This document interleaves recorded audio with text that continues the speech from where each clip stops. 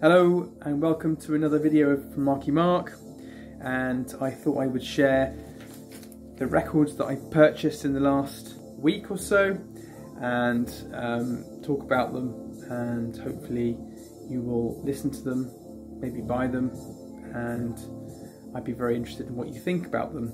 The very first record I'm going to start off with is this one from folk singer, folk writer, very talented chap called Richard Dawson.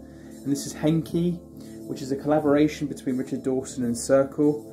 And um, very pleased to have this alongside my other Richard Dawson albums, Peasant and 2021. No, sorry, 2020. Um, this is a fantastic album. Uh, tells a lot of stories, as does most of Richard Dawson's work, and depicts many of the facets of human life um, and the, the difficulties uh, and the, and the um, pressures of, of, of, everyday living. I would thoroughly recommend you. I'm not going to say any more than that, other than have a listen to it. But this is great. Henki by Richard Dawson and Circle. Just come out, I think it was last couple of days. Beautiful pressing, really nice. I'm not sure where it was pressed, but it's really nice. Okay, next, next one. I'm going to go with this. Uh, really, really pleased to get this on Thursday, I think it was. Uh, Crossings, Herbie Hancock. I'm a big Herbie Hancock fan. Um, I have a few, well, quite a few of his records, but this stands out to me as one of his one of his greatest, in my opinion. Um, lots of rhythm, lots of. Um, it's just beautiful. It's a beautiful pressing, actually. Um, really pleased to have this.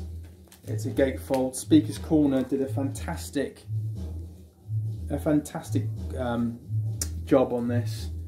And if you if you're into Herbie Hancock, uh, into even if you're not into jazz, but he wants some uh, really good, decent kind of rhythm tunes, or you know whatever you may call it, jazz.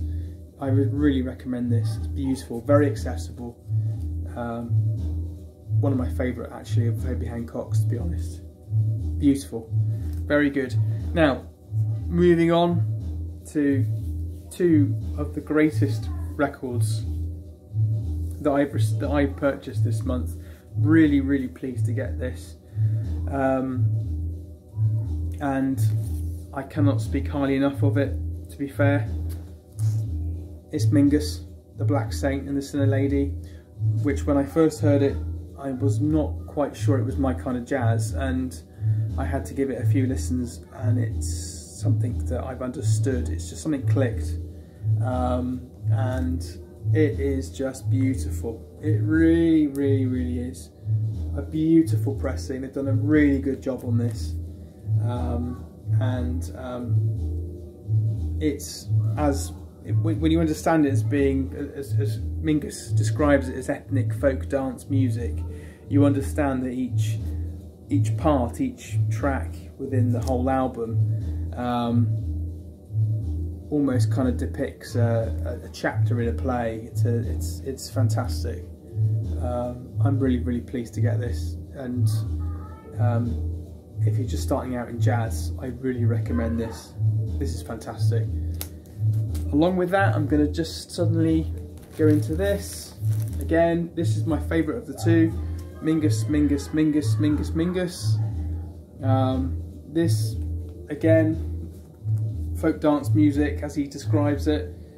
Um, the orchestration, quality and build-up of this album is fantastic. The way that he um, separates and, and, and, and just organises the different elements um, of the uh, of the group is just amazing, and it's a beautiful pressing. It's really quiet. Very dead sound stage. Um, uh, uh you know, the floor, the, the vinyl floor is, is beautifully dark, beautiful. Um, it is gorgeous, and I've, I've had this on repeat most of the week. It's been fantastic. So I recommend that. Um, and lastly, lastly but not least, um, completely different from any kind of jazz, um, modern day pop. I've really, really enjoyed having this. This is Porter Robinson's Nurture, um, and i am so glad I ordered this back in August and received it um, last couple of days, and it's it's stunning.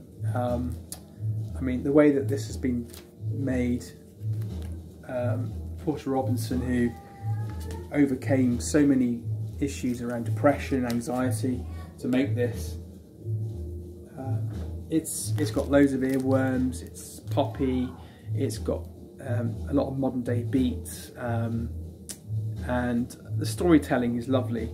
The way that he tributes one of the tracks to his mum, and the way that she that she stood by him and supported him, and um, it's not for everyone, but for me, I've really enjoyed listening to this as a, as a modern day interpretation of, of how COVID has affected um, young people. I, I, one of the, this and um, Charli XCX's um, album from the beginning of last year. Uh, this is how I'm. This is how I'm feeling. Basically, depict how COVID is affecting, um, as I see it, youth, the youth of today and how generations will be affected by it. So I'm delighted to have this, delighted to have this as part of my collection, and I'll be interested to hear what you think. Have a lovely weekend, uh, or whenever you see this video, and I'll speak to you soon. Thanks, bye.